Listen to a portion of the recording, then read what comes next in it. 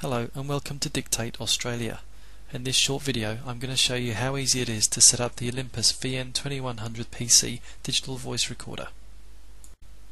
Before you even connect your voice recorder, insert the digital wave player CD on your PC and the pop-up screen will automatically appear. Select the language of your choice and the install will begin.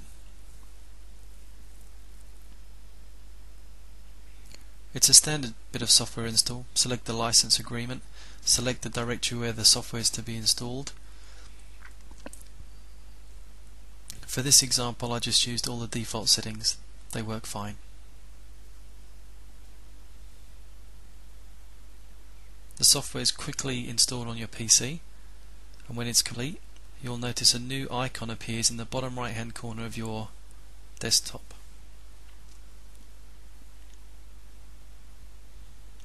This icon is a device detector icon. Now plug in the USB cable to your voice recorder and plug the recorder into your PC. The PC will recognize that the voice recorder has been connected and then we'll go and look for a driver for that recorder. When the hardware wizard comes up, select yes this time only and then just select install the software automatically.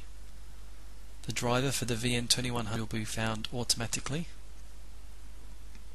and once installed the digital wave player software will start up connected to your VN2100 PC. You're now free to move recordings from the recorder to your PC and you can also record directly from the recorder to your PC. It's that easy.